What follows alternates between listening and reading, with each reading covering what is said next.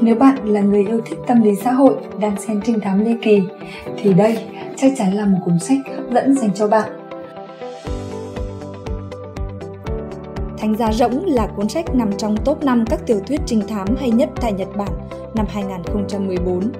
Cuốn sách xoay quanh hai vụ án mạng tàn khốc trong cùng một gia đình. Vụ án đầu tiên xảy ra với cô bé Manami ngây thơ, vô tội. Cô bé đã bị sát hại tại nhà riêng. Và đúng 11 năm sau, mẹ cô bé là Sayoko cũng bị giết hại dã man trên con đường thuộc quận Koto. Nakahara, một người chồng, một người cha bất hạnh, đã hai lần phải cảm nhận nỗi đau mất mát người thân. Chính cái chết của người vợ đã khiến anh tạm gác lại niềm riêng để bước vào cuộc hành trình tìm kiếm sự thật. Trong hành trình tìm kiếm sự thật đó, không phải là những pha phá án gây bất ngờ, những tình tiết đầy kịch tính, mà toàn bộ câu chuyện đều xoay quanh câu hỏi duy nhất giữa sự ăn năn của hung thủ và tử hình, điều nào mới là tốt nhất. Để đến cuối cùng, tác giả đặt cho chúng ta muôn vàn câu hỏi nhức nhối, khó có thể tìm được lời giải đáp.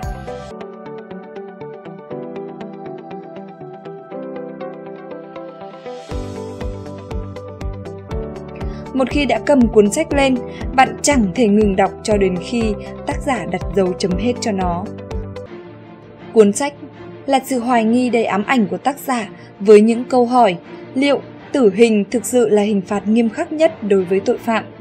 Liệu nó có giúp kẻ thủ ác nhận ra lỗi lầm để sám hối?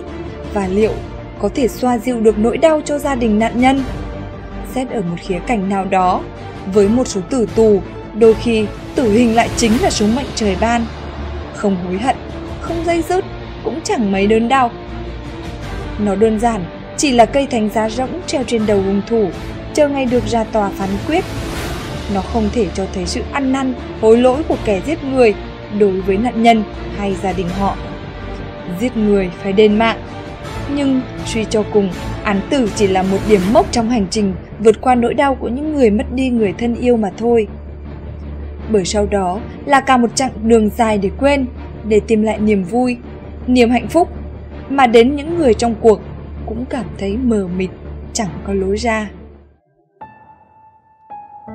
Nhưng nếu không có án tử hình thì điều gì mới khiến cho thủ phạm thực sự thay đổi, thực sự hối lỗi? Đó là một câu hỏi nhức nhối, không có lời giải đáp khi bạn đọc cuốn Thành Giá rẫm. Tuy nhiên, tôi đã có lời giải đáp khi đọc được một lá thư đặc biệt của kẻ sát nhân gửi cho điều tra viên công an tỉnh Hà Tĩnh với nội dung như sau với tất cả lòng chân thành gửi tới chú lời cảm ơn sâu sắc.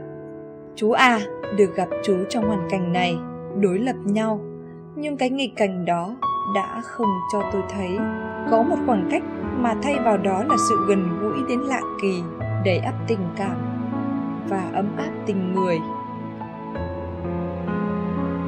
Vào những ngày tháng cuối cuộc đời, được gặp những người như chú, chắc chắn tôi sẽ ngậm cười ở bên kia thế giới.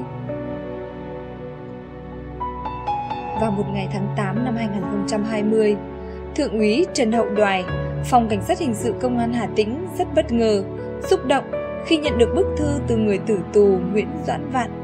Sau khi bị cơ quan cảnh sát điều tra công an tỉnh Hà Tĩnh bắt giữ về hành vi giết một người, đâm trọng thương một người, ngược lại với các bị can khác, mong muốn thành khẩn khai báo để hưởng sự khoan hồng của pháp luật thì Nguyễn Doãn Vạn xác định lựa chọn cái chết để giải thoát nên y giữ một thái độ ngông cuồng, ngang tàng, bất hợp tác. Làm việc với cơ quan điều tra, Vạn luôn tuyên bố tôi yêu cầu không được hưởng bất kỳ tình tiết giảm nhẹ nào và đề nghị được hưởng mức án tử hình. Trước thách thức lớn, bằng nhiệm vụ của một điều tra viên được giao thụ lý vụ án, Thượng úy Trần Hậu Đoài đã dày công quyết tâm cảm hóa bằng được Vạn. Vụ án đã được phá thành công, Vạn đã cúi đầu nhận tội. Nhưng hơn hết, điều tra viên còn giúp Vạn thức tỉnh, nhận rõ việc tước đoạt sinh mạng của người khác là hành vi dã man, đáng lên án. Thức tỉnh phần người trong Vạn khiến cho Vạn phải ăn năn, hối cải và cúi đầu nhận tội.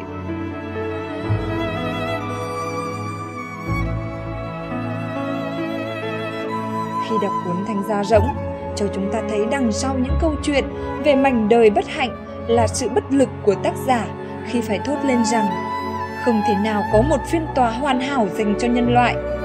Và thấp thoáng đằng sau những bất nghẹn ám ảnh ấy là một khao khát cháy bỏng về sự tồn tại của tòa án lương tâm nơi những thánh giá sẽ thực sự là lời sám hối từ tận tâm can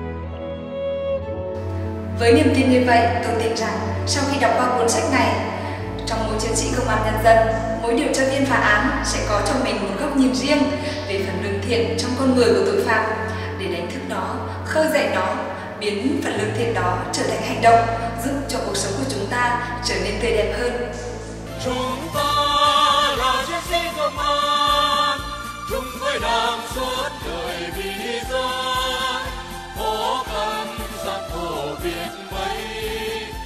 ngày mắt thần to quyết vượt qua. Nhiệm vụ ta công an vinh quang, bảo vệ an ninh cho nhân dân.